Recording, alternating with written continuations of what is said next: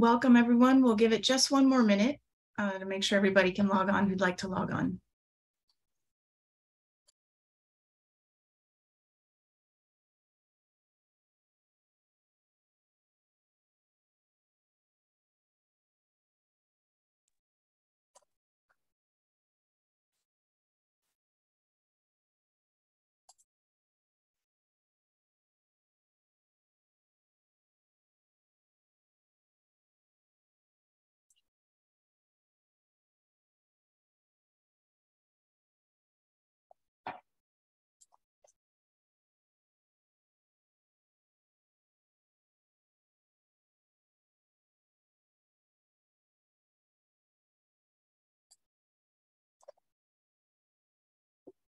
Okay, I think we can get started.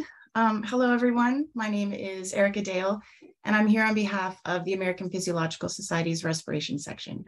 Thank you all so much for joining us today for the joint APS Respiration Section SCIREQ event, Basic Barometric Plethysmography Techniques and Respiratory Science, a crucial tool in the study of opioid abuse and breathing pathologies. APS would like to thank our partners at SCIREQ and especially APS members, Doctors Melissa Bates and Ryan Davis for assisting with the organization of today's event. I do have a couple of housekeeping notes. We ask that you refrain from taking photo or video captures of any of the scientific presentations in whole or in part. And we're gonna field our questions after both speakers have presented. So along the way, just uh, put your questions into the Q&A section at the bottom of your screen. So without further ado, it's my pleasure to briefly introduce our two speakers today. Dr. Laura DeRuisseau is a professor at Le Moyne College in Syracuse, New York, where she studies the neural control of cardiorespiratory function with a focus on physiological changes across the lifespan in developmental disabilities. Dr. Erica Levitt is an assistant professor at the University of Florida, where she studies the neural control of breathing, especially in the context of respiratory neurons in the pons that are important to opioid-induced respiratory depression. It's now my absolute pleasure to turn the session over to our first presenter, Dr. Laura DeRuisseau.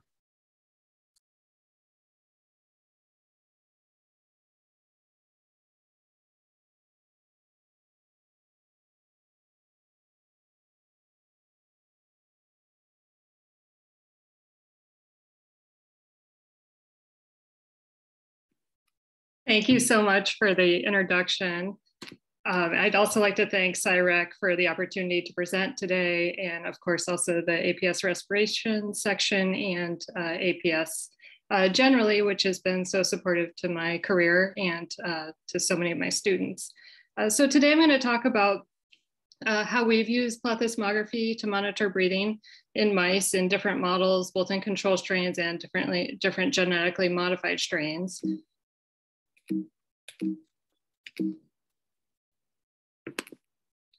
Okay, so just a very brief history, and a lot of this was covered in, in great depth um, on the previous webinar uh, about barometric plethysmography. But uh, just very briefly, it was originally published for use in hamsters in 1954. And then, of course, the, the uh, publication of Drorbaugh and Fenn in 1955, which is the, the uh, algorithm that many of us use uh, to calculate tidal volume for um, use with plethysmography. And then uh, publications in rats came about 10 years later and then mice. And so why would we want to use plethysmography? You know, why is why have people been interested in this technique? So really it's a tool to monitor uh, breathing changes across the lifespan. So to me, the, the reason it's such a powerful tool is that you can do repeat testing uh, that's non-invasive and also students can learn it in one semester. So I work primarily with undergraduate students and this is an ideal candidate method for them to learn and become autonomous with. Um, it also yields a tremendous amount of data. So once you have performed uh, an initial data collection, there's a lot of analysis that can be done uh, after the fact. And it's been widely used in rats since the 1970s to, to, to now, uh, but there was a lot more interest for uh, use in mice, of course, as uh, genetically uh, altered mice have been more common and mice are such a common strain now to, that are used in biomedical research. Uh, I do just want to point out because so much of the initial work was done in rats, a lot of that can be, a lot of that part of the method can be translated to mice, but not all of it, because mice do have different physiology, uh, they have different stressors, and so it's something to keep in mind. Um, and then another reason that plethysmography is so popular is that now there are commercially available systems. And so this is really great, uh, but it also means that we can all buy a turnkey system, uh, but we might need some help with how to interpret it or just a, more of a consensus about the best way to collect and uh, present these types of, of uh, data. So there are different chambers available. There's the head out method, which of course the mouse has its head out. Um, and then there's also the unrestrained or the also called the whole body plethysmograph so hopefully you can uh, appreciate the differences here. So the head out is commonly used for uh, smaller animals where you might have smaller tidal volumes. Um, and I think Dr. Levitt will, might be talking uh, more about that particular method. And then the, the whole body uh, plethysmograph, an animal can move around and it might be more indicative of a calm animal like present in their cage. And I just want to emphasize that these two techniques, while some of their uh, basic methodologies are similar, it's important to understand the details so that we don't directly compare uh, data from one method uh, to another. And so with the head out method, uh, it results in higher breathing frequencies uh, compared to the whole body plethysmograph. And this could be due to the, to the restraint stress or could be due to pressure on the, the neck. Um, so it's just important to recognize uh, the differences. So this paper just came out last week using a leak-free method for um, head out.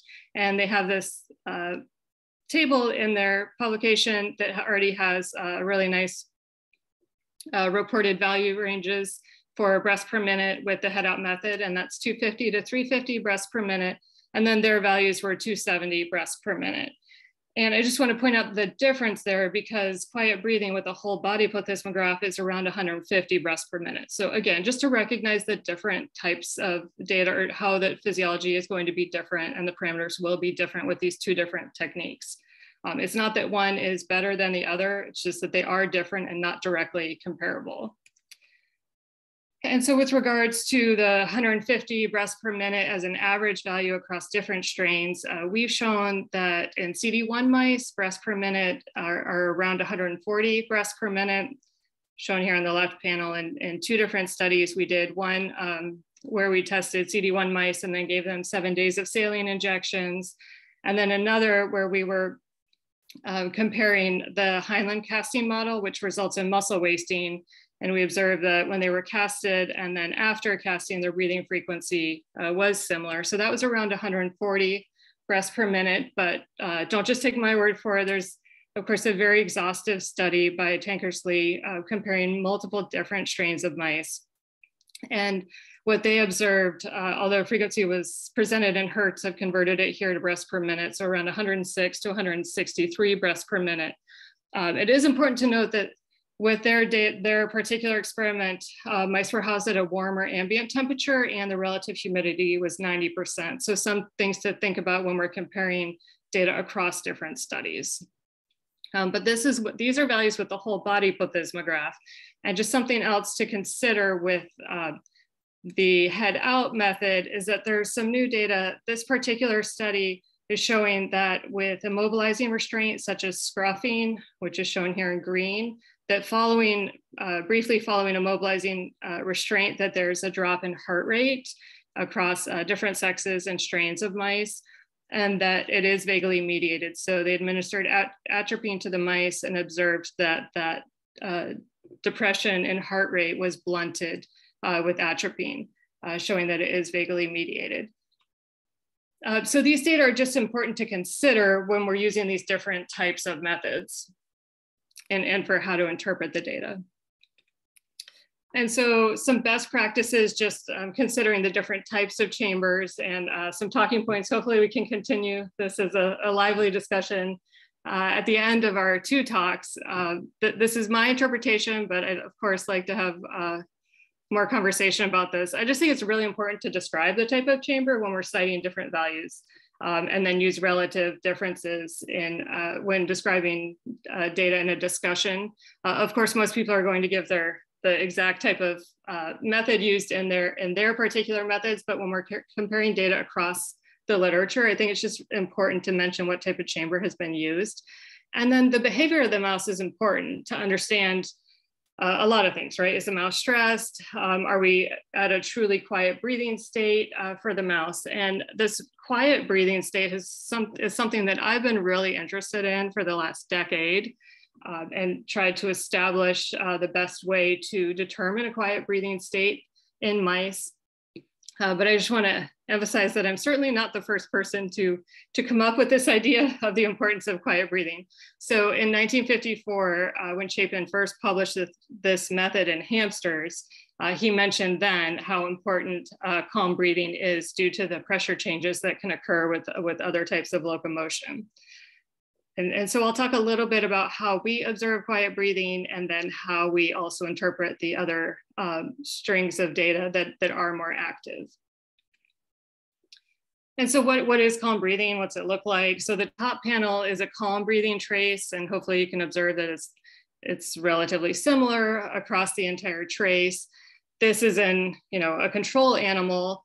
Uh, there, it is possible with genetic you know, genetically different mice that, it might be slower or faster, or even have some apneas in there. But calm, calm, quiet breathing does have a relatively, uh, it's, it's relatively obvious to observe um, on the breathing trace. And you pair that with a mouse that is awake, but sitting relatively still in its cage. Um, versus active breathing on the bottom panel, is hopefully uh, what it sounds like. It's more active, right? The mouse might be sniffing, grooming, moving about uh, the chamber.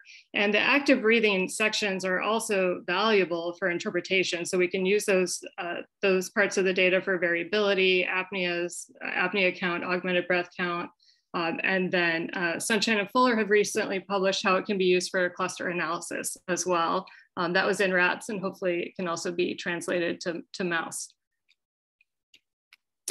And so I just want to talk briefly about how we use these shorter versus longer durations of data. So with the longer periods of data, like 30 to 60 minutes, uh, my group will go in and count uh, apneas and augmented breath. So augmented breath shown here, and then uh, apneas with this long string of uh, lack of flow. And so we'll count that over 30 minutes or 60 minutes. And uh, the apneas just I personally think are, are more appropriate to count over a longer time period because you're more likely to, to count maybe 10 or 20 apneas um, as opposed to in a much shorter string. Uh, again, you would get a shorter, obviously a, a, lower number, but possibly more likely um, to, to have error there. Uh, what we've also done though, when we count apneas, we also follow up with pulse oximetry. And this, uh, these are data here of a mouse that was exposed to isoflurane and then was allowed to wake up and ambulate for the next two hours. And what we observe are that uh, there are desaturations that occur in C57 BL6J mice um, that are active in their cage. So we do observe desaturations along with apneas, even in healthy uh, control animals. And I've been trying to show this particular image a lot to get people excited about it. And I, I think uh, Dr. Bates is, she was interested in this, this data and we're trying to follow up um, to find out more about how these desaturations, how they correlate with uh, respiratory flow so we can do these experiments at the same time. So the calm breathing that we initially were trying to uh, analyze when I first started my lab, I was trying to do 10 minutes of calm breathing. And it was actually relatively, feasible. Uh, we were using control animals, young control animals. It was relatively feasible to get calm 10 minutes of continuous calm breathing in, an hour or two hours. And then we would average those data, have about a thousand breaths to analyze and go from there. What we observed though was that this 10 minutes of calm breathing was harder and well, more and more challenging to achieve eh, when we were comparing light and dark cycles, when we compared older animals, and then when we were looking at a strain that had higher levels of anxiety, we found that it would it would sniff and move around the cage more often. And so this 10 continuous minutes was more challenging to achieve. And so we went ahead and did the experiment to, to confirm if a shorter duration was going to give us similar quality data. And what we observed was that a 15 second uh, bout of calm breathing is actually very similar to this 10 minute um, 10 minute analysis that we had been trying to do. Um, and so, and then we followed that up with uh, multiple other bouts of 15 seconds throughout the tracing and found that they were all similar. And so we have gone to actually for calm breathing, only using a 15 second uh, string of data with, with very calm continuous breathing. And then we use the other 30 to 60 minutes of active breathing to count apneas and, and augmented breaths. And so I've talked a lot about frequency and um, you know factors that influence frequency, uh, but sometimes the more controversial aspects of plethysmography include the tidal volume calculation. And so factors that influence that are barometric pressure, humidity, both the input humidity and the chamber humidity, and then of course chamber and body temperature. And so barometric pressure, we don't need to spend too much time on. It typically, it really should not fluctuate in any given lab environment. Um, and then even uh, Mortola and Frappell had, had published that even a 50 millimeter mercury error is only gonna result in a 4% difference in tidal volume. So it, in my experience, this would be a very minimal error um, you can, of course, test your own software, go ahead and change these values, see how much of a difference um, you're able to get with your particular uh, software system. But I have not observed barometric pressure to be a major issue uh, with error. Uh, the most likely error I would think would be if a channel were plugged, some sort of human error where a channel were plugged in incorrectly and you would notice that right away. So humidity to me is something that is somewhat underappreciated with plethysmography data collection. And so it's important to know both the input and the chamber humidity. So if you're using gas tanks, um, they should be dry and they are typically only going to be about 10 to 20% relative humidity. They're very unlikely to fluctuate across the experiment, but it is important that you know what the input humidity is. And so you can do that by running 10 minutes of an empty chamber to identify uh, your relative humidity input. If you're using room air, you could have more um, fluctuations for hum humidity input, but a really easy way to avoid that is to use both a desiccant and or a Nafion tubing, which will help to stabilize uh, the humidity. Chamber humidity is, is going to have a lot more fluctuations and it's highly influenced by animal behavior. So if you have an animal that's moving around a lot, is very active, is defecating or urinating, you're going to have much higher humidity. And also if you have a lower inflow, you're going to be more li likely to build up humidity. You can always flush the chamber by briefly running a very high uh, inflow uh, to, to reduce that humidity. But humidity is something that changes throughout the experiment. And I think it's it's important to keep it within a range. We keep our humidity between 50 and 75% uh, through our experiments. Um, some experiments that are very long might keep it at 90%. So this image is, is likely uh, familiar to many of us using plethysmography. So this is an image from Mortola and Frappell showing the, on the left panel is an animal um, housed in an environment that's 37 degrees Celsius, 100% relative humidity. So it's identical to the mouse that's being tested. And the point is that even though tidal volume, even though the animal is, breathing, the pressure signal is going to be much smaller. And that's because there's less of a differential here. And then in order to, uh, to achieve that difference in pressure, you want to have a differential here. So here it's 25 degrees Celsius and 50% relative humidity.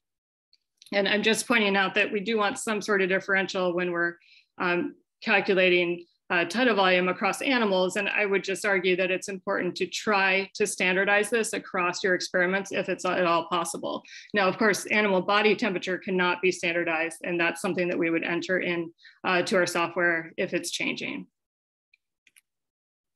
And so if you do need to reduce chamber humidity, if for some reason it's gone up uh, to 99% or the animal's urinating a lot, um, you could just raise the flow very briefly. Um, sometimes it only takes 30 seconds, and then you'll just wait two to four minutes for your chamber to re-equilibrate. And now moving on to body temperature and chamber temperature. Uh, this image is probably familiar to, to a lot of people as well. Uh, it's essentially showing how changes or errors in body temperature and chamber temperature can influence the tidal volume calculation.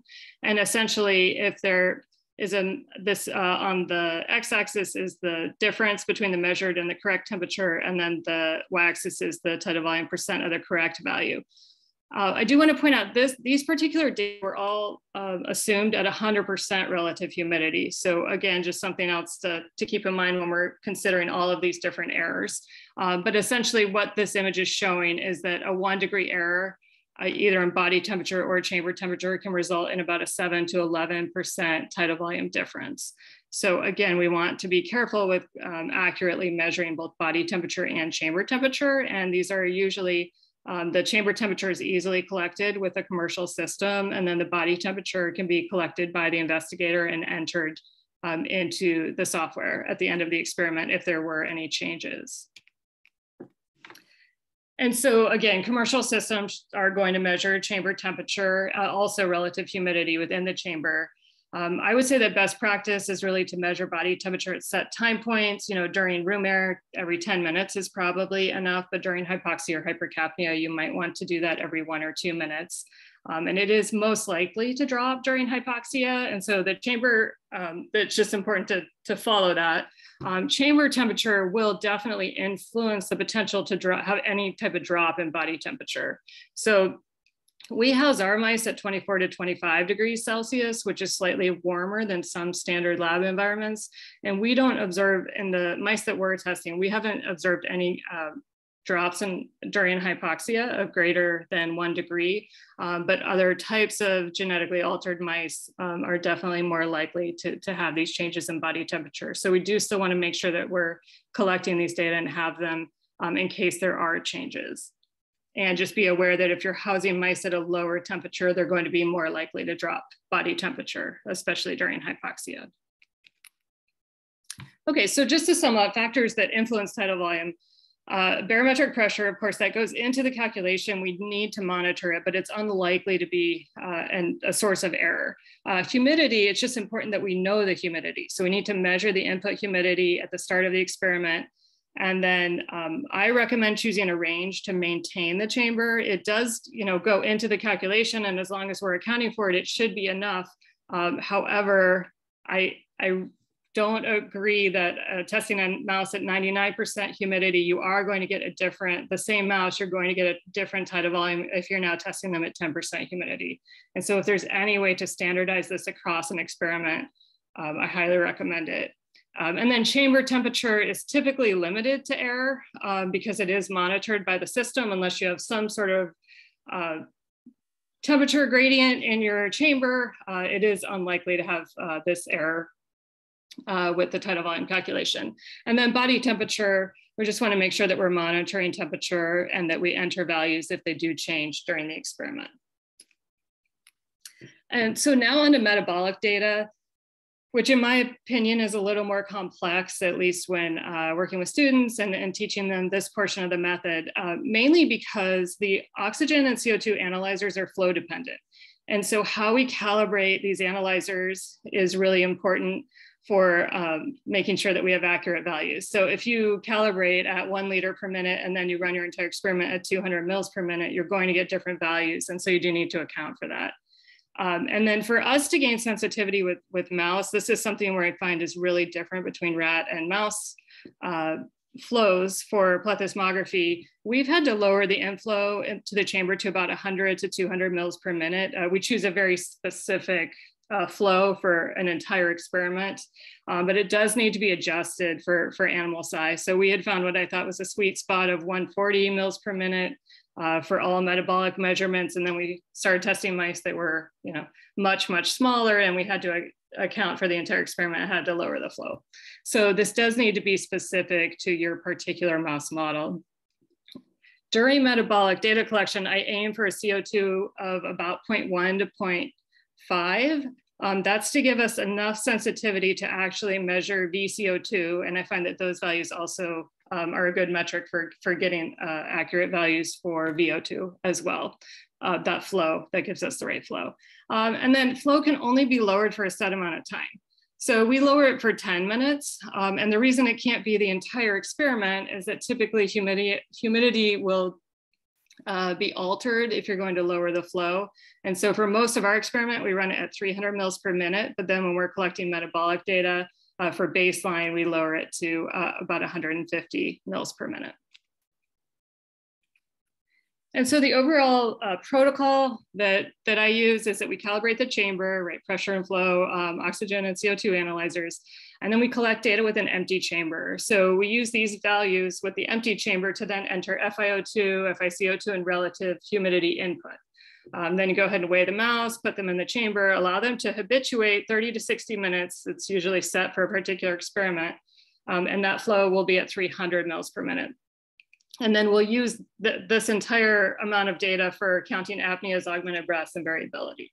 And then when we go on to do the metabolic and calm baseline uh, for the VO2 and VCO2 data, what we'll do is we'll lower the flow from 300 to about 150. Again, it's, it's dependent on your uh, model uh, for 10 minutes. And so we'll identify 15 second bouts of quiet breathing within this 10 minutes. And then we can also calculate active segments uh, for VE, VO2 and VE, VCO2.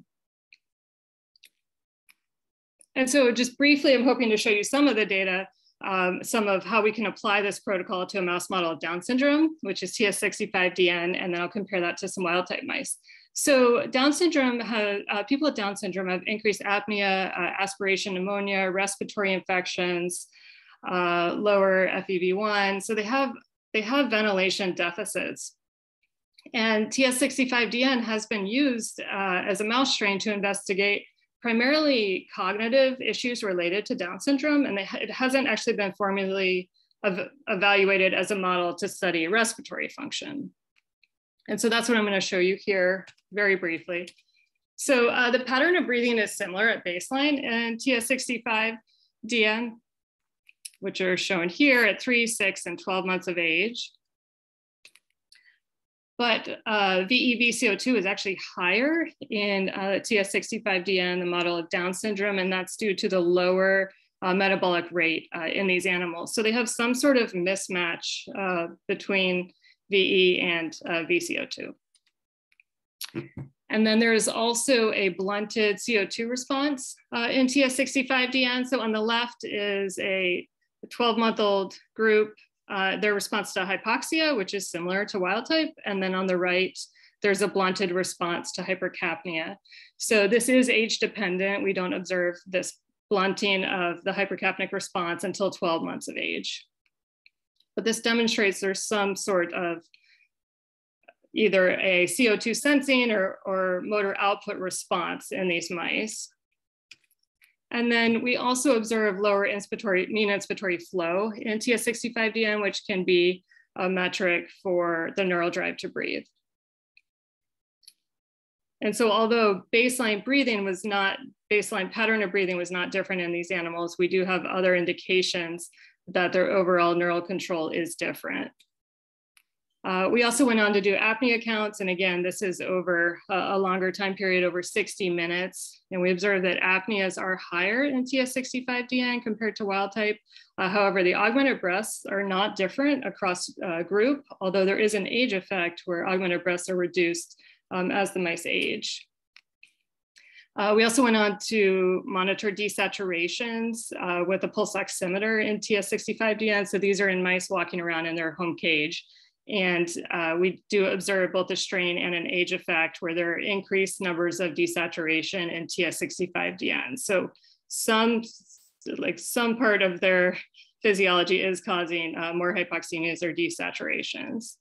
Um, and we also observe that uh, O2 carrying capacity is lower. So both hemoglobin and hematocrit are also lower in these mice. Um, however, uh, arterial blood sampling show that PO2 and PCO2 are similar compared to wild type. And so just to recap, and I'm hoping that we can have a, a lively discussion uh, after Dr. Levitt's talk as well. So plethysmography can be used to compare respiratory patterns uh, and VEVO2, so and VEVCO2. Um, and TS65DN has increased apneas, reduced uh, VTTI, which is an indication of a reduced neural drive, along with attenuated response to hypercapnia. So uh, taken together, these indicate that there is a different uh, neural, either sensory or output uh, in these animals. And uh, the elevated desaturations are also present in addition to the lower oxygen carrying capacity of lower hemoglobin and uh, lower hematocrit. And I'd like to thank everyone, um, definitely my collaborators, uh, Dr. Bates and Dr. Burns, who worked on some of the, the earlier work with TS65DN, and uh, our statistician and former postdoc who is now at Ithaca College, and of course, all the students that are involved in the work. So thank you all so much. Thank you so much. That was a wonderful talk. Um, while we're switching out slides and getting Dr. Levitt's talk up, I just want to encourage and applaud the number of questions and the comments that are, that are happening right now. Keep that going. Uh, we knew this was a lively audience, so we will address things at the end. Laura, um, I need you to stop sharing your screen so that I can share.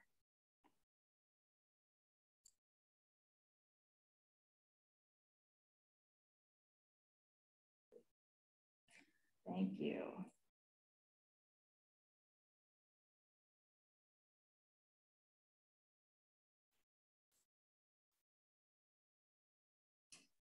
Okay. All right, you should be seeing my slides now and be able to hear me. Um, so I would like to thank Laura for a really great um, seminar. I knew it would be good and I was lived up to every expectation of that I had, at least. Um, I'd also like to thank APS CIREC for sponsoring this event and for allowing me to participate. So I'm gonna follow up by just talking about some of our data where we use plethysmography in combination with neurophysiology in order to sort of dissect the mechanisms of opioid-induced respiratory depression. So as we are all likely aware, um, we're in the midst of an opioid epidemic. Shown here are some data from the CDC. Um, and if anything, um, this epidemic is accelerating and not decreasing, now being largely driven by illicitly manufactured fentanyl. And the cause of death from opioid overdose is respiratory depression. We know from studies in receptor knockout animals that the mu opioid receptor specifically is what's responsible for respiratory depression. I'm going to show a little bit of data on this in a couple of slides. Um, this opioid-induced respiratory depression can be rapidly reversed by administration of naloxone or Narcan. And while this is life-saving, it will reverse all opioid effects simultaneously, leading to the potential for uh, withdrawal and uncontrolled pain. In addition, um, prior to overdose, opioids cause a variety of effects on breathing, um, which can be measured, mostly uh, measured using plethysmography. So the most well-known effect is of opioids is that they decrease respiratory rates. There are also dose-dependent changes in tidal volume. Opioids also decrease the pattern and the regularity of breathing. And opioids decrease our reflex response to hypercapnia and hypoxia further sort of worsening the effect of opioids from these, inhibiting this protective reflex. Uh, opioids also cause um, effects on the upper airways, leading to aspiration, difficulty swallowing, and obstructed breathing. And opioids cause sedation and sleep disruptions, as well as skeletal muscle rigidity, which can impact the ability to ventilate.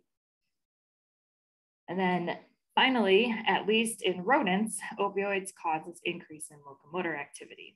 So I wanted to show a video of what that looks like in a mouse.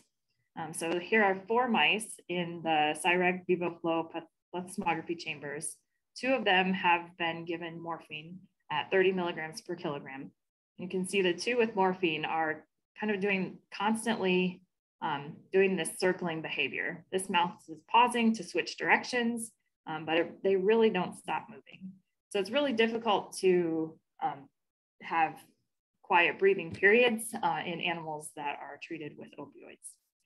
Um, if you also notice this mouse um, in chamber two, especially is has his tail um, elevated and that's called Straub tail. And it's another indicator, nice indicator that opioids have uh, been administered to an animal. So we can still, even though these animals are locomoting, we can still separate the breathing signal from um, locomotor artifacts. Um, and so what we use is the active, what Laura described as active breathing.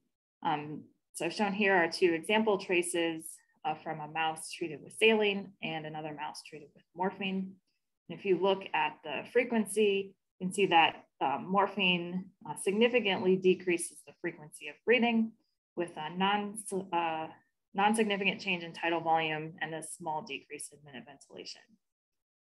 We then ventilate these chambers with air that contains higher levels of CO2. So we used for this experiment 7% CO2 that increases both the frequency and the tidal volume of the um, mouse's breathing and a large increase in minute ventilation. And then when you administer morphine on top of the hypercapnia, you now get a significant decrease again in frequency, also in tidal volume, and this large decrease in minute ventilation. And this is pro pretty prototypical response um, with opioid agonists. Um, it's not specific just to morphine. Um, so here is a study that was performed by Graham Henderson's lab, and he's measuring breathing using whole body plethysmography um, with elevated CO2. This is done by some groups. Um, it's a little bit easier to see the inhibition by opioids when the increased drive. Um, so he used three different types of opioid agonists, morphine, heroin, and fentanyl. The doses are shown here. And they saw that there was, a, with all three of these agonists, a significant decrease in breathing rates um, and minute ventilation, but a small or non-significant change in tidal volume. So pretty consistent. Uh, and then we know that opioid effects on breathing are due to mu opioid receptors. Um, and shown here is a study from Albert Dehaan, where he used whole body plethysmography and treated the mice with morphine at a reasonably high dose, um, 100 milligrams per kilogram, and measured ventilation at a um, range of inspired CO2 levels. He found that in wild type mice, morphine reduced ventilation at all of these inspired CO2 levels and also decreased the slope of this response. Compare that to the mu receptor knockout animals where morphine um, had no effect at any of the uh, inspired CO2 concentrations. So then he quantified these data using the slope of this response. Um, so in the wild type animals, the morphine treatment reduced the slope of the hypercapnic ventilatory response like this. Um, whereas in the knockout animals, morphine had no effect on the slope of this response. So there are a few ways that um, morphine opioid-induced respiratory depression can be analyzed. So this, these data you know, indicate that mu receptors are important for um, respiratory depression, uh, but it's a global mu receptor knockout. So this led to, to the question, where are the mu opioid receptors that depress breathing? And before I answer that, I'll just briefly summarize uh, the control of breathing circuitry. Um, so you have um, in the ventrolateral medulla a column of structures. You have the pre the inspiratory premotor neurons in the rostral ventral respiratory group. These project out to the phrenic motor neurons found in the spinal cord. Uh, the pre-Butzinger complex generates inspiratory rhythm. The Butzinger complex contains mainly inhibitory neurons that are active during expiration. The RTN or the parafacial respiratory group comes into play during active expiration, times of high metabolic drive. And then in the dorsal medulla, you have the nucleus of the solitary tract, which is a integrator of the chemoreflexes. And then in the dorsolateral pons, you have the lateral parabrachial area and the collector fussae, or KF, um, which are important for modulating respiratory rate, pattern, and control of the upper airways. So all of these structures are highly interconnected. Um, the KF especially sends dense glutamatergic projections to nearly all aspects of the uh, medullary respiratory control centers and receives reciprocal um, feedback from these centers as well, um, including ones that aren't shown here. So the question was, where are opioid receptors in this network? And there is at least some evidence that mu opioid receptors are expressed in all of these centers. So we were interested um, in understanding how opioids affect uh, the dorsolateral pons in order to depress breathing. And so this is in the remainder of my talk um, will be part one of the remainder of my talk. Um, and then at the end, I'm going to also talk about uh, mu opioid receptors in the NTS. The, so the postdoc in the lab, um, Otto Varga, was uh, interested in the, how the opioid containing KF neurons contribute to uh, respiratory depression. So what she did is she used mice with flocks to mute opioid receptors, injected a virus encoding CRE into the KF. Um, this will delete opioid receptors um, from the KF neuron, the entire KF neuron, including the somatodendritic area, as well as receptors on terminals and projection areas as well.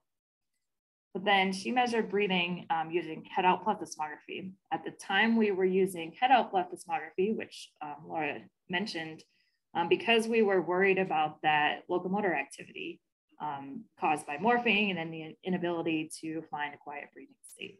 Um, so we um, restrained the animal in these head out plethysmograph chambers to prevent that locomotor activity. So briefly, again, the mouse's head is in a separate chamber from its body. And what we're really measuring is just the displacement of air from the body chamber as the mouse uh, breathes. So I'm going to walk through some of the experiments that we did, um, but I wanna point out that Kevin Yackel's lab at UCSF did very similar deletion experiments um, and found results that were more similar than they were different um, to ours.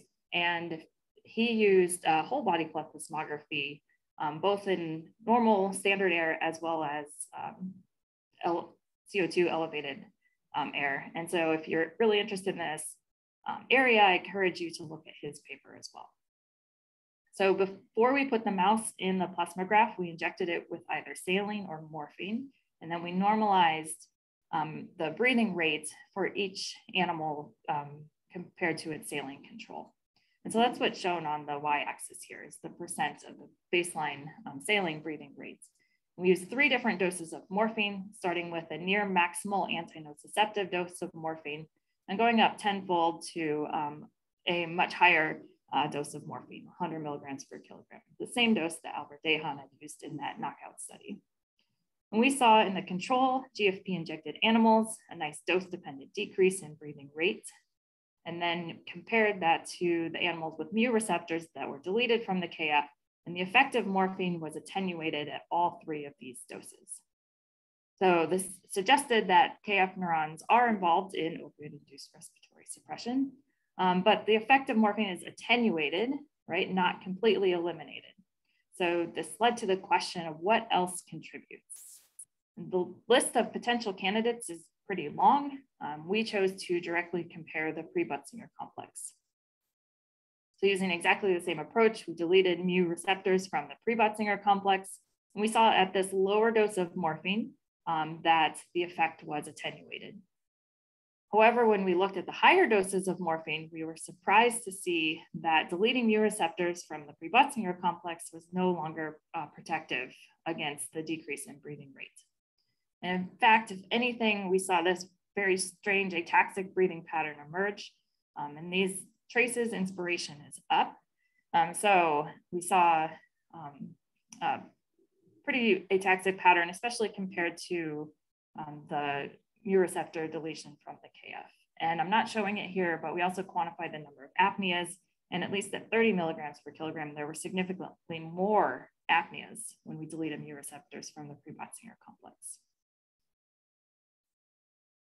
So um, in summary, these data um, that we collected using plethysmography helped indicate that these opioid sensitive KF neurons really do contribute to opioid suppression of respiratory rates because when we delete opioid receptors from these neurons, um, morphine is not as effective and you end up with a higher breathing rate.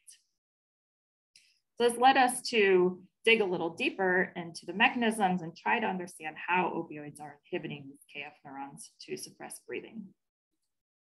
Um, so the first thing that we did is just recorded from KF neurons in brain slices. And after recording from a bunch of neurons, we found that about two thirds of the neurons I recorded from were directly hyperpolarized by an opioid agonist. And this is due to activation of a G protein coupled inwardly rectifying potassium conductance so by the uh, somatodendritic mu opioid receptors. We then wanted to know if these neurons that were um, inhibited or hyperpolarized by opioid agonists were the ones that were projecting to the ventrolateral medulla. So in order to determine this, a graduate student, Jordan Bateman, injected fluorescent retrobeads into the ventrolateral medulla and then recorded from fluorescently labeled KF neurons and applied the opioid agonist methenkephalin and again saw outward currents. If you look at um, across the population of neurons, he saw a very similar proportion, about two thirds of the neurons he recorded from had this opioid mediated outward current that projected to either the pre-Botzinger or the RBRG. So now these KF neurons have um, that project to the ventrolateral medulla are hyperpolarized by some somatodendritic mu opioid receptors. We wanted to know if they also have opioid receptors on the axon terminals in the projection area as well. So in order to test this, Jordan injected a virus encoding channel rhodopsin into the KF, and then he recorded, made slices and recorded from pre-Botzinger complex neurons or RBRG neurons, but I'm only gonna show the data from the pre-Botzinger neurons. Um, so he recorded from pre-Botzinger complex neurons and stimulated the channel rhodopsin expressing KF terminals using blue lights. We've shown here, um, and he recorded specifically from VGLUT2 positive pre-Botzinger complex neurons. So shown here is an example recording from a pre-Botzinger complex neuron. Stimulation of the KF terminals leads to um, these glutamatergic excitatory postsynaptic currents. And these, um, or EPSCs, and these EPSCs were inhibited by the opioid agonist methenkephalin. And that was reversed when it washed from the slice. And you can see the summary data um, here to the right.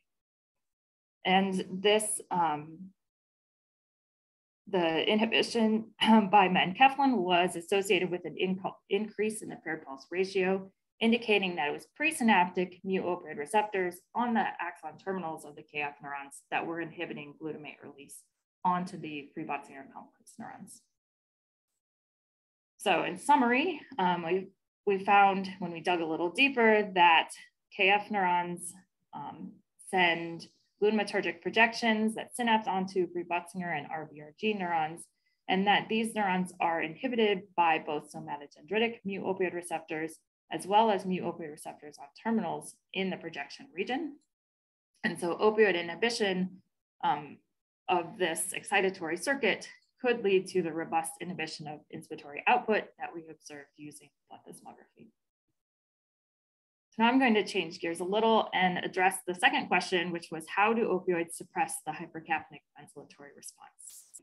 Um, to answer this question, we thought that the NTS was a nice um, site to, place to start um, because previous studies had shown that injection of the selective mu opioid agonist DAMGO into the caudal medial NTS impairs both the hypoxic and hypercapnic ventilatory response. Um, so when thinking about how this could occur, um, we thought of two possibilities. First is that um, mu receptors are on the hypercapnia responsive neurons and that they directly inhibit them. So that would be a postsynaptic mechanism. And the second is that there could be an indirect mechanism whereby opioid agonists um, inhibit the uh, neurons that are activated by hypercapnia. So the question that these two undergraduates um, wanted to answer was, are the NTS neurons activated by hypercapnia inhibited by opioids? To test this again, um, we are using the um, VivaFlow plethysmography chambers and we had four conditions. Um, we either injected mice with saline or morphine and then exposed them to either room air or uh, hypercapnia, which had 7% CO2. Uh, we, uh, the exposure time was for 60 minutes. Um, and then we used CFOS um, as the immediate early gene, um, CFOS as an indicator of neuronal activation. So consistent with what's been published previously, um, exposure of these mice to hypercapnia increased the number of CFOS expressing cells. Um, CFOS here is shown in green. Um, you can see a significant increase uh, in the animals that received hypercapnia. Then when we uh, looked at the animals that received morphine, morphine caused a large increase in um, the number of CFOS expressing cells. Notice the y-axis here. Um, but when we added hypercapnia with morphine, you still saw an increase in the number of CFOS positive cells. So this indicated to us that um, hypercapnia and morphine were activating separate populations of neurons. So we wanted to look a little closer and see if those neurons that were activated by hypercapnia express mu opioid receptors. In order to do this, we used more Cree mice, um, and then we crossed them with uh, AI9 TD tomato Cree reporter mice, so that generated mice where any cells that express the mu opioid receptor will also express TD tomato. When you look in the NTS region, you can see a significant amount of, NTF, of uh, mu opioid receptor containing cells in this region, especially compared to the surrounding area. Then we exposed these mice to hypercapnia uh, and saw again that hypercapnia increased the number of CFOS positive cells. But when we looked at the CFOS positive cells to see how many of them co-expressed TD tomato to indicate um, mu opioid receptor expression, we saw very, very few, one to three or zero to three cells uh, per slice. Um, and if you look at the percentages over here, um, the percent of hypercapnia activated uh, CFOS positive neurons that express mu opioid receptors was only 7%. So very, very low. So most of the hypercapnia activated neurons do not express mu opioid receptors, suggesting that the effects in, of opioids in the NTS are uh, indirect. So in summary, um, using plethysmography, we identified that KF neurons contribute to opioid-induced respiratory depression at both low and high doses of morphine.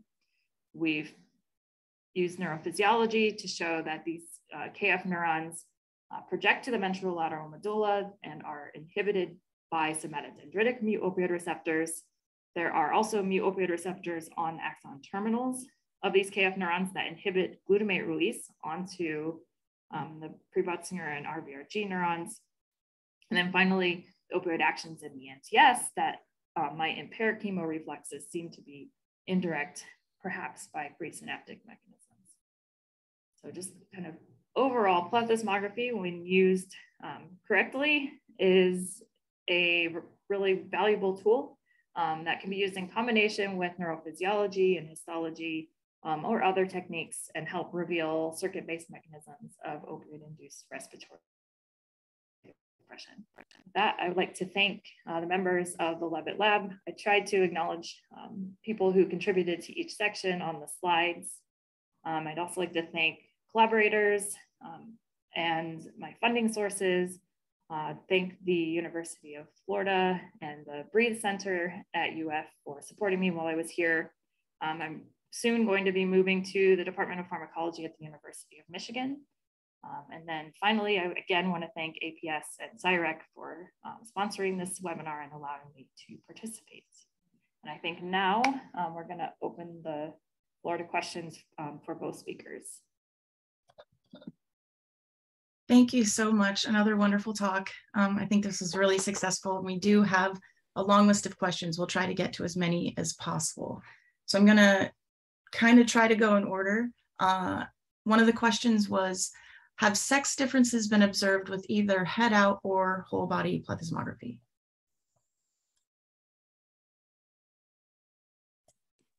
Either one of you.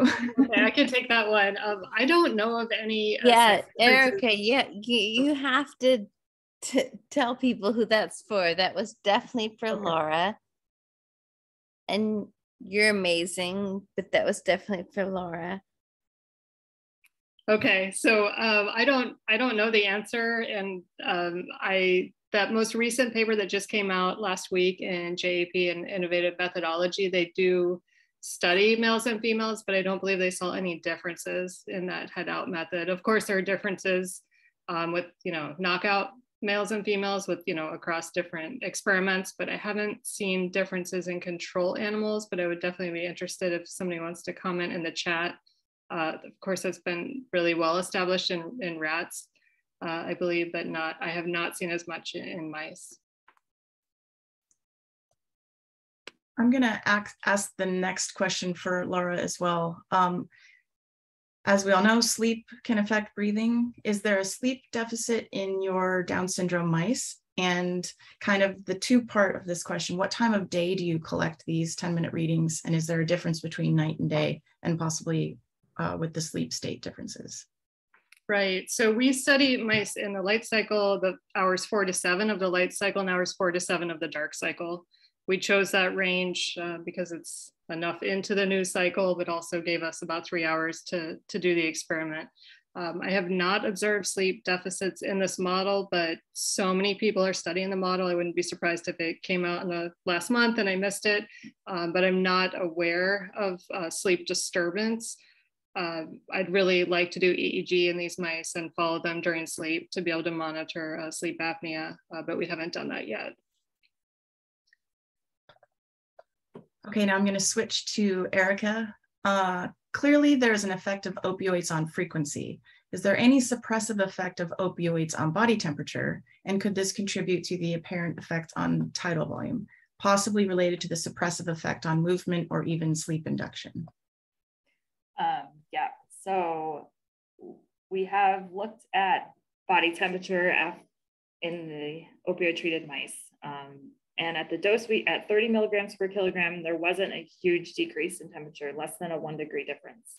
Um, at higher doses, 100 milligrams per kilogram, you can get, start to get um, decreases in body temperature. So yes, that if you don't compensate for that, that could obviously contribute. Um, and I mentioned the, the effects of opioids on tidal volume are also dose dependent. So you don't start to see decreases in amplitude of breathing until you end up with higher um, concentrations of opioids. So that could be part of the reason, um, but also using at lower doses, you see an increase in tidal volume and you still see that increase, can see hints at least of those increases in tidal volume, even with head out plethysmography, which doesn't rely on temperature um, in order to measure uh, amplitude of breathing. So I don't think it's entirely uh, temperature dependent long question, uh, long answer. Uh, I'll ask another one to you. I'm trying to bounce back and forth. Uh, what other respiratory regions outside of the prebot and KF neurons do you think significantly contribute to opioid-induced respiratory depression? Oh, there's so many. The list was very long. Um, so the NTS obviously could be one player. Um, the caudomedullary raphe could be another player. Um, Astrid Stuckey has a recent paper where she had to, she added naloxone to dorsolateral pons, pre-Botzinger pretty largely, as well as caudal medullary raphe. And it wasn't until she added in the caudal medullary raphe antagonism that she completely eliminated um, remifentanil-induced respiratory suppression. And we also have a project looking at locus coeruleus, which also has opioid receptors, um, drive from the cortex who knows? There's a lot of possibilities. Peripheral opioid receptors, yeah. Okay, back to Laura. Uh, if the goal of an experiment is to determine VeVO2 in response to hypoxia or hypercapnia, is a flow rate of 150 mils per minute for 10 minutes sufficient to reach steady state? Any comment on chamber volume or flow rate selection given the specific experimental goals? Okay, so uh, good question and apologize if I wasn't clear on that. So for the baseline measures for um, baseline calm breathing, we use 150 mils per minute, but for hypercapnia and hypoxia, we go to 300 and we get steady state at two minutes and 43 seconds uh, on average. So we are able to get steady state with 300 mils per minute, but I think it's really important to check with your own particular chamber and flow meters um, to to see uh, how quickly you're able to observe steady state with your particular setup. I think we've gotten a couple of questions about um, normalizing to body mass. Is that still standard practice? How important is that? And I think either one of you can can answer that. I'll say I think a lot of reviewers are still asking for it. So in that sense, um, it's perhaps still uh, best practice. Uh, I prefer to use it as a covariate, body weight as a covariate in our um, analyses, but we do often still present as, uh, per body weight, but I think it's more appropriate to normalize to metabolic rate. Yeah, I just answered in the, the chat. We, the we normalized the most recent data to body weight in response to reviewers' requests. So thank you for your answer. So I'm just going to ask one more quick question because we're at the top of the hour. This is for Laura again. You said the target CO2 for metabolic measurements was 0.1% to 0.5%. Is that the set percent coming into the Pleth chamber or expired CO2 in the chamber?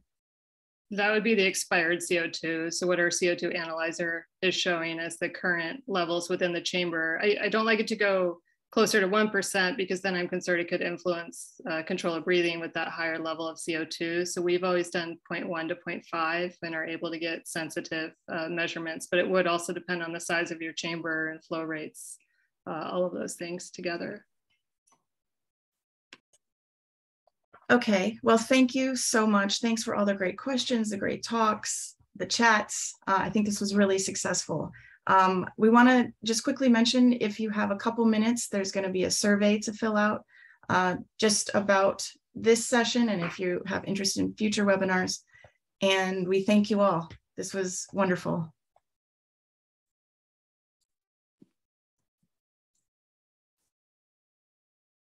Thank you. Yeah, thank you, everyone.